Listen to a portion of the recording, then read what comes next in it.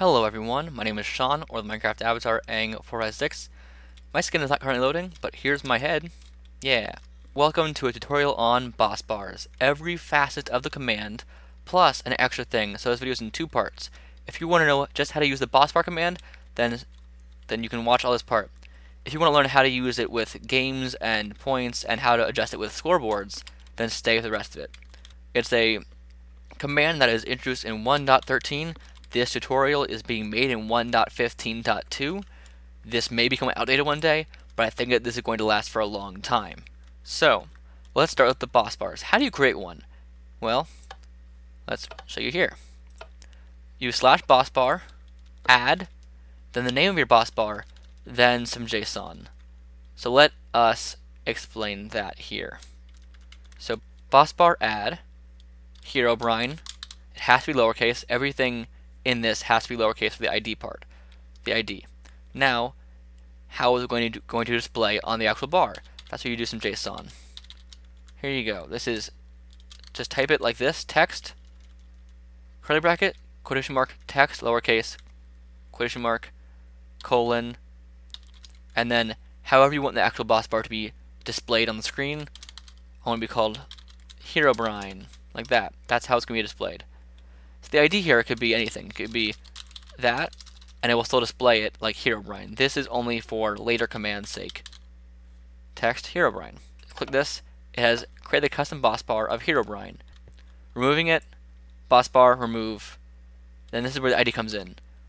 Wherever you had your ID set in the first command, you just you can hit tab. It's Minecraft colon Herobrine. Or if you just type in Herobrine, that will also work. There we go.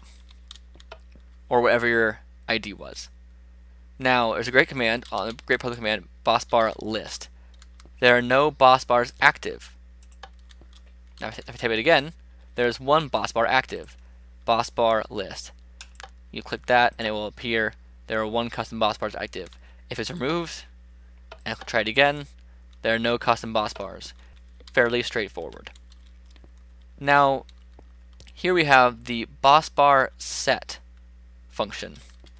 Boss bar set. Herobrine, so you have to, whatever, whatever ID you want to use, which, whatever boss bar you want to set, you have to know the ID for, of course. Boss bar set. I'm going to set my Herobrine one. Now there are many different things here. One, two, three, four, five, six, seven different options. Let's break that down, shall we? First off, visible. So boss bar set visible, true or false. We want to be able to see it, so it will be true. Now let's click button here. So we can't see it yet because the system does not know who is allowed to see the boss bar. Now that's where this comes in. Boss bar, boss bar set. The Herobrine is the ID we're still using because it's the same boss bar ID as before. Players. I'm going to set at A for all players. All players will be able to see this. Every player on your world. Now, there is, pop there it is at the top. Now if I want to change the visibility of this to false, I can do that. But I want it to be true, I want to be able to see it. So, all players can see it, and it is, is visible. Now, color. Color is pretty important because you can change the actual color of the bar itself. This is pretty straightforward. You can choose which option you want. I'm going to go with blue here. Let's make it blue. Now, up top it's blue. If I wanted to change it to green, we can do that. And that looks a bit, like the XP bar, etc., etc. We can go down to red is like a raid. So that's pretty fun, like that. Alright, let's keep it at red, because Herobrine is a mythical monster creature in Minecraft lore, so he's a villain. Let's make it red. Now, max and value go hand in hand. The max amount of points you can have. Uh, right now, the default is 100, so let's set the value first. If we set the value to 100, it'll be full. If we set the value to 10, it'll be right there. It'll be one-tenth of the thing. If we set it to 50, this will be half. Pretty simple.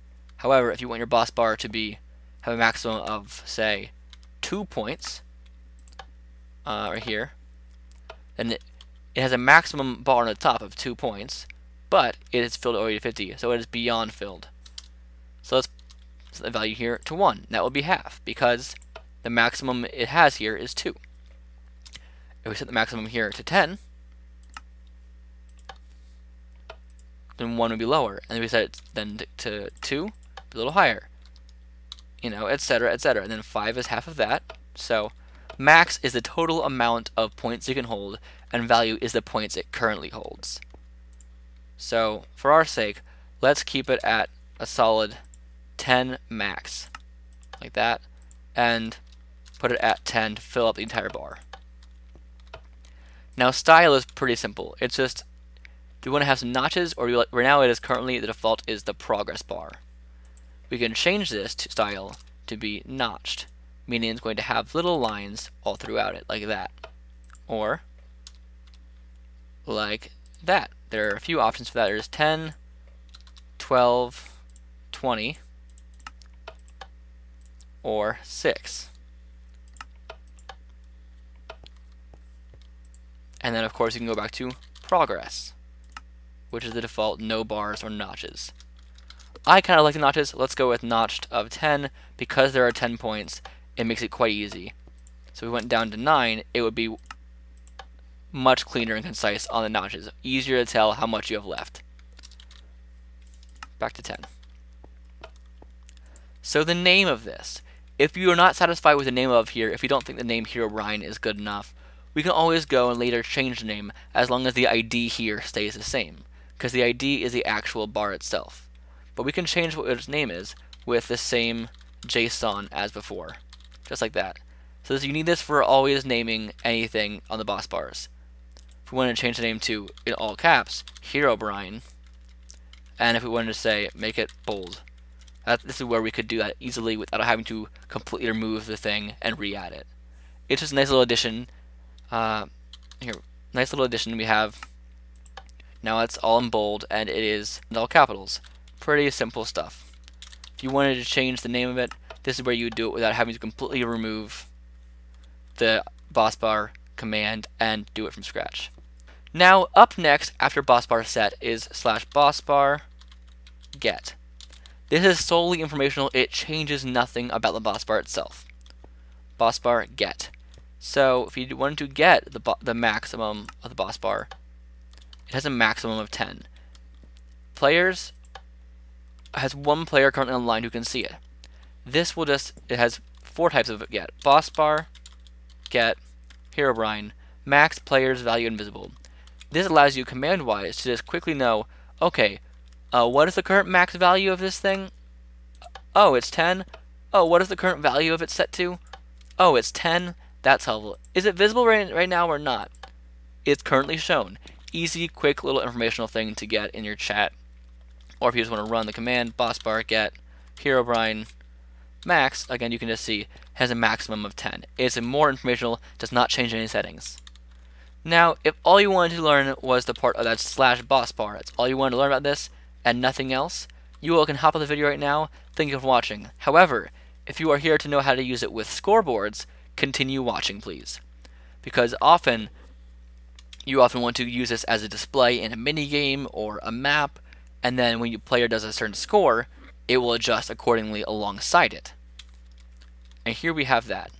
So to do that, we need to first add a scoreboard objective. Scoreboard objectives, not schedule, scoreboard objectives add. Simple command. So scoreboard objectives add. I'm calling this objective HB health, you can call it whatever you want. I'm calling it this. Now I'm also making this a dummy command, meaning I'm not relying on it being food or your health or death count or anything like that for this to work. I'm making this so only I, using commands, can adjust the objective. So we're going to add the objective here, HP health. If you want to remove it, it's the same way scoreboard objectives remove. Same way to add and remove with boss bars, pretty much. So add HP health dummy. Simple. And then I want to be able to see my points on the sidebar here. So let's quickly do this. Scoreboard objectives set display sidebar HP health. So when I have a score, it'll easily be able to be displayed over on the right hand side. So let's try adding a point to both our scoreboard and the boss bar. Let's break this down. let's do that here. Execute is a pretty helpful command. Execute, we're going to execute storing. We're not going to execute at a player, we're not going to execute as a player. We're going to execute this command by storing the result of the following command. So whatever the output is, we'll put that into something. So we're storing the result of, of the command we're going to do into the boss bar. But which boss bar? We're going to store it into our currently made one, Herobrine, Minecraft Herobrine. So we're executing the command we're going to do and storing the data into the Herobrine boss bar. But we're going to store it the value, not the maximum.